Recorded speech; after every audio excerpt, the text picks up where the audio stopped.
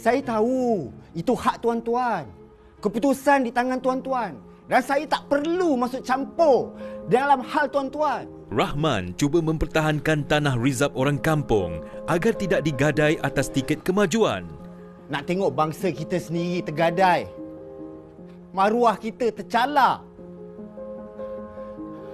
Tanah air kita terjual. Sanggup ke kita? Dalam Kelir, Sabtu 28 Ogos pukul 3 petang. Sabar Pak Din, sabar. Nak sabar macam mana? Ha? Kalau tak kerana dia, aku rasa dah lama orang kampung sini kaya raya. Termasuk kau sekali. Engkau sahaja yang boleh berdepan dengan Rahman. Kalau kau dah tahu aku boleh berdepan dengan Rahman, kau mesti dah tahu berapa harga aku kan?